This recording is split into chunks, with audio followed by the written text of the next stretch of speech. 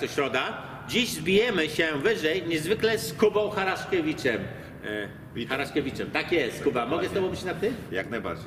Przywitajmy jeszcze naszych widzów. Dzień dobry. Dzień dobry też. I witam Zdejmuję serdecznie. to, bo nie słyszałem Ciebie tak naprawdę, dlatego teraz będzie chyba nam też łatwiej porozmawiać. I przejdźmy do mojego pierwszego pytania. Hobby czy praca? I hobby, i praca. Zawsze było moim marzeniem od dzieciństwa, żeby latać też zawodowo, nie tylko just for fun, tylko mieć możliwość poruszać się też większymi odrzutowymi samolotami, które ostatnio właśnie w tamtym roku zostałem przyjęty w firmie i latam tak samo służbowo. Czyli inaczej mówiąc, e, taki rodzaj samolotów to jest Twoje hobby e, w czasie wolnym, a zawodowo latasz jednak na takich jetach na 10, 7, 8 osób. Dokładnie, to jest Embraer Legacy 600 Jet na 13 osób. Normalnie na 37, ale jest wyposażony tak luksusowo i latamy właściwie do każdej destynacji, tam gdzie sobie klient życzy, bo to są samoloty, które są też czarterowane albo poruszane przez właściciela. A tutaj Cessna 172 poruszamy się po prostu czysto dla hobby. Początek kariery. Było to już w Twoim dzieciństwie marzeniem, już jako dziecko marzyłeś wzbijać się w obłoki i patrzeć się na piękne krajobrazy, czy pojawiła się ta wizja, to pragnienie być pilotem trochę później? To ta wizja pojawiła się właściwie w dzieciństwie, tak mógłbym powiedzieć, między jak miałem 10 lat. Mnie zawsze rajcowało w powietrzu, się poruszać się w powietrzu samolotem. Miałem też możliwość, jak miałem 19 lat, y, zrobić wykształcenie w wojsku, no ale w ten czas zostałem ojcem, dlatego odpuściłem sobie z powodów rodzinnych i tak samo powody finansowe nie pozwolili, nie pozwoliły na to, żeby to wykonać od razu, więc musiałem parę dobrych lat zaczekać, aż mogłem spełnić moje marzenie. Zanim porozmawiamy jeszcze o lataniu, o lotnictwie, o Twojej miłości do, do latania, właściwie całkiem inne pytanie. Z tego co wiem, e, pięknie mówisz po polsku, ale urodziłeś się tylko na 6 miesięcy, znaczy, przepraszam, nie na 6 miesięcy, urodziłeś się w Polsce, ale byłeś 6 miesięcy i później emigrowałeś z rodzicami, czy rodzice emigrowali razem z Tobą do Austrii, zgadza się? Powiedzmy tak, rodzice przyjechali w 79 do Austrii, ale matka wróciła do Krakowa, żeby urodzić mnie tam i 6 miesięcy później znowu wróciła do ojca, więc właściwie wy- wychowałem się tutaj. Czyli inaczej mówiąc, ten język, opanowałeś język polski tutaj, tak jak Pierwszy, rozmawiamy. pierwszy był język polski, który był w domu normalnie na dzie- w Super. rozmowie, a niemiecki zaczął się później w przedszkolu, w szkole i tak dalej. Tydzień temu miałem gościa, fotografa. Pierwszy dzień też się tutaj urodził, tyle, że się tu urodził, nie w Polsce, nie był nawet 6 miesięcy w Polsce. Pierwszy dzień po polsku mówił, ale ty to przebijasz całkowicie, pomimo, że tak jak powiedziałeś, byłeś tylko 6 miesięcy w Polsce i później mama, tata już tutaj byli. E, Powróćmy teraz znowuż do latania, do lotnictwa. E, Ciekawostki. Miałeś jakoś taką, bo wiesz, dużo się czyta, czy w ogóle można takim samolotem, jeżeli scenariusz czarny, e, wyłącza się motor, światła gasną i tak dalej, możesz jeszcze szybowcować takim samolotem, czy raczej robisz um bum? Można szybow- szybować, zależy też od typu samolotu. Tak jak mówię, Cessna 172 jest raczej, ma właściwości szybowania raczej złe. Takie inne jak widzimy tam, albo ta samolot, co przed chwilą odleciał, ma lepsze właściwości, więc ćwiczy się to wszystko w trakcie szkolenia. Robi się wyłączanie, nie bezpośrednio wyłączanie, ale po prostu wyciąganie gazu na wolne obroty, co powoduje właściwie, że silnik nie ma żadnego ciągu i ląduje później e, bez ciągu. Instruktor trzyma po prostu lewarek, że nie ma możliwości dodania sobie gazu i musimy jednym ciągiem sobie tak dopasować wejście na pas, żeby ani nie za wcześnie, ani nie za Nie późno siąść. To się uczy, to jest też rzecz wizualna, którą po prostu z praktyką przychodzi automatycznie. Znaczy, przez trening dochodzi, uczy się No jest to chyba ważny aspekt, bo wiadomo, chodzi też o bezpieczeństwo. A miałeś jakieś inne przeżycia? No bo teraz mm, to by mnie osobiście ciekawiło, ale miałeś jakieś takie przeżycia, gdzie faktycznie pomyślałem, Boże, coś mi się wyłączyło, czy coś takiego? Miałeś jakieś takie e, ciekawostki? Ja bym powiedział tak, to takie raczej drobnostki były. Mieliśmy raz tą, em, byłem z, właśnie z rodziną w samolocie, z ojcem i synem i mieliśmy problem z alternatorem, który wysiadł totalnie. Co spowodowało, że straciłem komunikację, ale przełączyłem na drugą, bo tak jak wiemy w, samolo- w zawsze samolocie jakieś zawsze rezerwy. są redundancje zrobione właśnie w razie przypadków, jak jeden instrument wysiądzie, żeby mieć możliwość przejść na drugi instrument. Więc z Kremsu lecieliśmy do Feslau, wylądowaliśmy bez problemu. Silniki takie tak są zabezpieczone, mają swoje, swoje własne zasilanie, więc w najgorszym przypadku, co mogłoby być po 15 minutach, jak już bateria całkiem padnie, że po prostu kokpit jest ciemny, ale I to był tak i nauczył się tak lot doświadczenie, widokowy, więc tak. instrumenty mi nie były potrzebne, więc to nie było, było wszystko safe, nie było żadnych problemów. No, a czyli nic tragicznego, powiedzmy tragicznego, tak. tak. Słyszę tutaj z tyłu parę samolotów, właśnie dwa samoloty startowały. E, dzisiaj jest niedziela, bo nagrywamy, drodzy widzowie, w niedzielę, żeby mieć czas jeszcze ten materiał dociąć, tym bardziej jeszcze jedno mamy na końcu, niespodziankę. E, a powiedz mi, jak to właśnie wygląda właśnie z takim lataniem hobby? Czy jak jest ładna pogoda, coraz więcej ludzi przyjeżdża, lata? Jak, jak to jest w praktyce? No to tak jak dzisiaj, jak jest słoneczny dzień, można powiedzieć, że jest dość duży ruch tu w Bad. Bad Vöslau w ogóle jest lotniskiem, który musi mieć codziennie otwarte. Jak są te małe inne lotniska, które mają e, właściciela i on decyduje o tym, kiedy otwiera. Ale Bad Vöslau podlega pod Schwechat, pod lotnisko w Wiedniu, więc oni muszą od godziny 9 do, czy 8.30 do 20 mieć otwarte. Tu mamy trzy kluby lotnictwa. Ja jestem członkiem jednym tego klubu. No i sobie po prostu dzielimy te wszystkie samoloty, które tutaj w tych hangarach stoimy. A jak taki dzień, to jest dość ruch. Najwięcej niebezpiecznie, mogę z góry powiedzieć, jest na stacji paliwowej, jak się wszystko tłoczy, jeden samolot za drugim, jak wszyscy chcą wystartować od razu, szybko zatankować. To tam często gęsto się robią tłoki i nieporozumienia. I drodzy palacze, zapomnijcie w takich sytuacjach o paleniu papierosów. Tak na markę i Proszę nie palić na No, lotnisku. okej. E, Żarty na bok. Powróćmy do ciekawego tematu, który tak z naszej rozmowy wyszedł, a mianowicie, czy jest możliwość z Tobą też e, przelecieć się krajoznawczo, turystycznie? Czy można na przykład zaręczyć się podczas lotu? Możesz na przykład faktycznie wyłączyć tak troszkę ten motor, żeby tą atmosferę podkręcić i wtedy taki kandydat na przyszłego męża mówi do e, swojej wybranki e, chciałbym się z Tobą zaręczyć, nie bój się tym wyłączonym motorem, to tylko tak dla picu, a ja chciałbym się z Tobą teraz tutaj na tej wysokości wśród tych pięknych krajobrazów zaręczyć. Jest taka możliwość z Tobą turystycznie też polatać? Jak najbardziej. Bardzo chętnie zapraszam do naszego klubu. Loty widokowe w każdej chwili są możliwe, zawsze zależy, żeby samolot był wolny. Oczywiście zaręczyny też możemy zorganizować. Możemy scenariusz, symulację wypadu silnika Nawet też takim zrobić. sektem, no. no takim delikatnie, można Delikatnie, tak zrobić, tak. takie podnieść adrenalinę w samolocie, że tam awaria jest, nie musi to być bezpośrednio silnik. Są też mnóstwo innych awarii, które możemy symulować. Silnika nie będę wyłączać, bo Takich respektuję. nie, ale, ale awarię zawsze można jakąś symulację zrobić, tak samo jak się przy treningu uczy, tak samo można zrobić przy takim locie widokowym. Bardzo, bardzo chętnie zapraszam do klubu. Umieścimy tutaj tę stronę facebookową Kuby, tak żeby praktycznie każdego, kogo to zainteresuje, mógł spojrzeć i popodziwiać loty, y, czy zdjęcia z lotu ptaka czy samolotu. E, Wiem, że masz jeszcze inne hobby, a mianowicie motocykle. Opowiedz mi coś, masz teraz aktualnie jakiś motocykl, na jakich motocyklach jeździłeś? Ja tutaj się znowuż wtrącę. Bardzo Honda proszę. Shadow 750 Chopper wiele lat temu, przelakierowany na żółto, ale to dzisiaj jest nieinteresujące. Interesuje mnie, na czym ty jeździsz. A Aktualnie teraz nawet muszę powiedzieć, że bardzo świeże to w tamtym tygodniu zakupiłem BMW K1200, sportowo-turystyczna maszyna. Bardzo pięknie to prowadzi się. Wczoraj nawet krótki wyjazd sobie zrobiłem. Pogoda nie była optymalna wczoraj, ale nawet podgrzewane manetki ma, więc, Wow. więc bardzo komfortowo się jechało. Przed tym z, z motocyklem jeździłem Honda, V, Honda VFR 800. No tych motorów już parę było w moim, w moim życiu.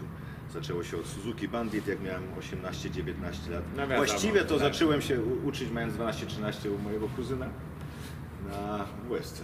WSC. Tak, tak zaczęło się Czyli polska tradycja. pasja motocyklowa. Tak, Tak, tak, to się tak. zaczęło. No znam to, wiem.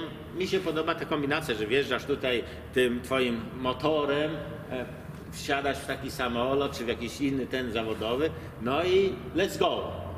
I tutaj, drodzy widzowie, powiem let's go, bo zaraz przelecimy się z Kubą razem, tak więc jeszcze nie koniec naszego wywiadu, bo dzisiaj zobaczycie, tak jak w tytule powiedziałem, trochę ujęć z lotu ptaka. Tak więc Przyjdzie nam się teraz krótko pożegnać, bo chyba trzeba jeszcze czek zrobić. Trzeba czek zrobić. Tak jest. Przedstartowy. Przedstartowy i za chwilę się widzimy ponownie. Dziękuję bardzo. Drodzy widzowie, moment startu się zbliża. Zaraz zaprosimy Was wspólnie z Kubą na wspaniały przelot nad Bad Woslau, Schneeberg i być może jeszcze inne ciekawe miejsca. Ale o tym popatrzcie sami i się przekonajcie.